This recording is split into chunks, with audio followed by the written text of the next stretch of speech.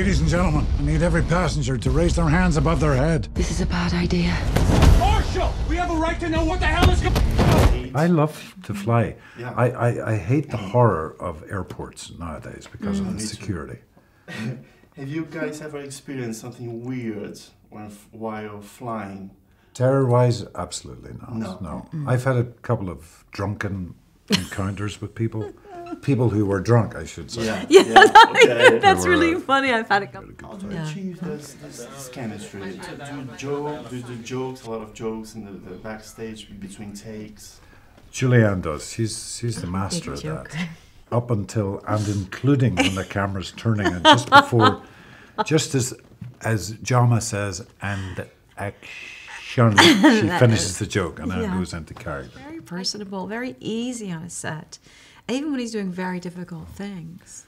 You have to. Yeah. I think in this one especially because we're we're so crammed together for every day for forty days. Yeah. It it helps if you're with a bunch of people uh, that you get on with. This is a setup. Something else is going on.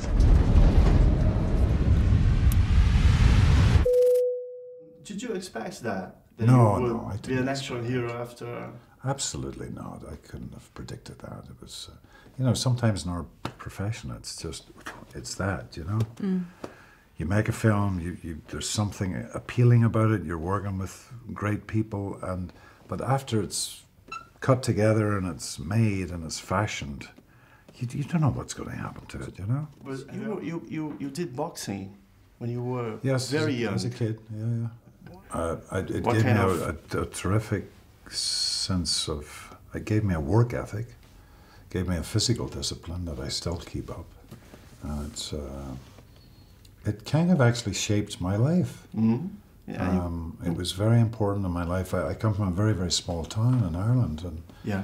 there wasn't a great deal to do after school, and the boxing was um, was um, a game changer. It really was. Oh, well, obrigado, as we say in Brazil. I'm not hijacking this plane. I'm trying to save it.